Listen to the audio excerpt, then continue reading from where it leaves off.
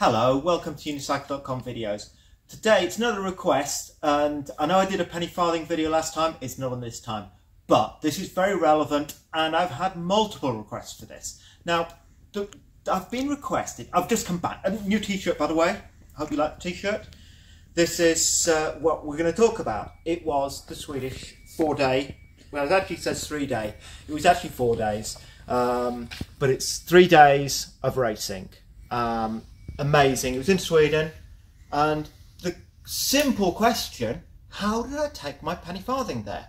So I did actually take a penny farthing. The event would have loaned me a penny farthing, but come on, I have a penny farthing. I want to take it, so I did. So how did I do it? So if we can, I have. I quite literally, I've come back. Nothing's washed this is as I've unpacked it. So here laid out is actually what I took. So um, I'll just basically show you what we've got here. We've got obviously the wheel, comes off easy, everyone will know how to do that. I've got my race cranks on from the last race, nice and short, fast. The frame, saddle, handlebars. You've probably seen these before in the videos. I, I've moved the thing around, but these are my race handlebars. Um, standard handlebars. I didn't take them this time. If I'd taken these, they would have been easier to pack, but I didn't. We have rather awkward handlebars. Switch it around to make it slightly smaller. Um, I'll come back to that. It's for my Garmin. Sits on the front of the bike. Front handlebars. Brakes. Brakes. So obviously those two go together spare cranks, which are actually used on some of the races as well. These are the triple hole cranks, the standard ones. Um, excellent product. We've got the front um, forks. We've got the rear forks with the wheel in. Now that is how it was actually all packed. The reason I've grabbed this out of the way, it's something you haven't seen before because it's not standard. The rear fork, it doesn't have a rear step on. I've cut it off the reason it was cut off originally was I do all the prototyping. We actually have, I have different um, rear steps. This is the standard step just with a bit of, bit of um, uh, insulation on so it's, it's smoother and offers better grip. There are different versions, but actually for packing, this really helped me. Um, and it's just taped on. Um, and most of the time that's perfectly okay. Um, now, my aim when I went was to have everything inside the wheel. And this is what I did last year. I took one bag and everything was inside the wheel. So I actually removed four spokes. They're actually, I've still got the tape on. These are the four spokes. I took the four spokes out and the wheel rear wheel will slip inside. The rear fork will slip inside. The handlebars will slip inside. You know, the whole lot will, will, will actually go inside. Now, this year, slightly different plan because two of us went. So I took the wheel with some of the things inside and I took a bag with the other stuff. So that's actually how I did pack it. So I will show you what I did. So the items went that went inside the wheel were the handlebar, the seat, and that's it. And I actually had bags with my race clothes inside the wheel. It actually, everything was inside the wheel and I used cable ties to hold them in place. So they're not rattling around, they're held in place. So actually that is pretty well what we've got. Now how do I pack the rest of the things and how do I pack these? We'll start off, let's look at how I pack that wheel. Let me get those out of the way. So the first thing I did, I need to protect the wheel. So let's pick it up and move across here because I've got a big blanket. It's it's um a, a shipping blanket. They're dirt cheap. I think they're a pound each. They're for when you're moving house. And I've just cut it up, put it on a sewing machine, and make a ring. So let's, let's put that back for a sec. And this is just sewn, so it's I can slip the wheel inside. Now you can see on the top of this there is a little smiley piece. Now that smiley piece is how I held the frame. Now, this year I have realised I had an alternative. I didn't do that, I did actually do this. But I have realised there is something else that could have fitted inside the frame.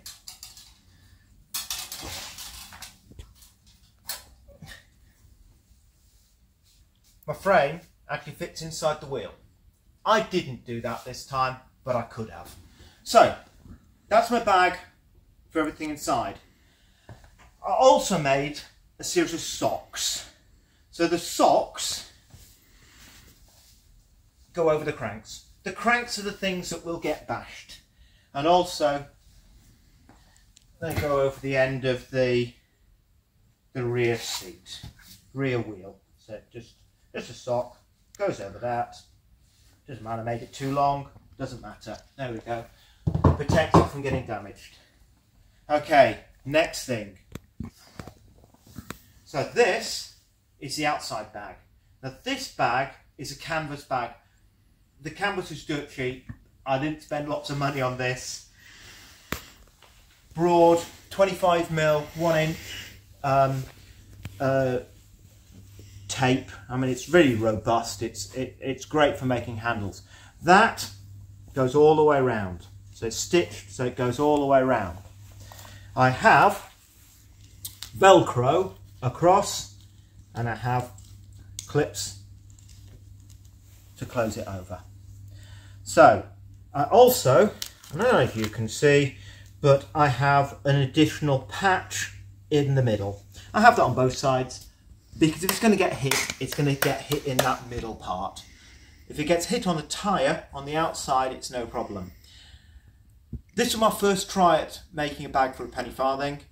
I didn't make it perfect. I thought this would be a good place for having the split.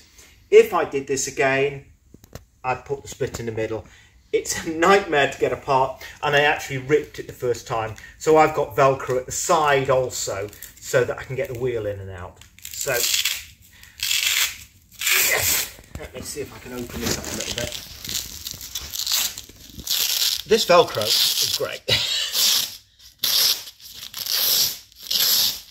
so you can see I have like an envelope. I can slot the wheel in its um, blanket inside here. So, when I was travelling, I had my wheel with a blanket, the wheel, inside a blanket, inside an outer bag, with as much inside the wheel as I could, but without it rattling. Very important. What did I do with the rest of the stuff? Because two of us went this year, I had the option of having another bag. So I had an old suitcase. It's a rattly old thing, but it's just so happens it's the right size for all of this lot. So this will fit in here, this will fit in here. Uh, it does. And this will fit in. Yep. Now, straightforward, very simple. The other thing I did, I took, again, just an old bag, throw everything in, that, do that. There we go, and the tools went in, everything went in, plonk it in here. Now, spares and tools. If you're doing this, make sure you've got all your tools. You don't need many to do the penny farthing. So you need your Allen key set, pedal wrench, really important, and we've got a crank extractor because I changed the cranks. Now the other things are packing. Ah, sorry, yes, and of course a bag for the bearing housings. And actually, I just slip in there. There's my spoke key. Always have a spoke key with you. So, packing.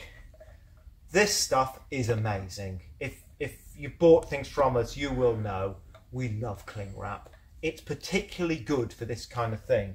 So you'll see I've cling wrapped the top of the uh, front forks. They've got the bearings on. I didn't want them coming loose.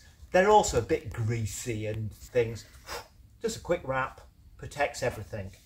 Um, the brake, which cannot be used in the races, but I didn't want to take that out. And since we there was some sociable riding where I would turn the brake on, I actually left the cable in. I've just wrapped it up so the cable's not damaging anything, perfectly safe. Very useful if you're traveling. And it's a partial roll, this goes well. We've got the cable ties for putting things together. And actually very important, if you're building your own bag, the airlines will destroy it in some way. They'll find some way of destroying it. Spare clips. So I took a pair of spare clips. You'll notice there's one there the reason is they did break a clip. So actually I've had to replace a clip. Very important that you have, you think ahead with that. So that's the basic packing. So I went with two bags and you can see in the picture, that's easy. It did work. It got me there. It's, it happened twice. It's not a problem.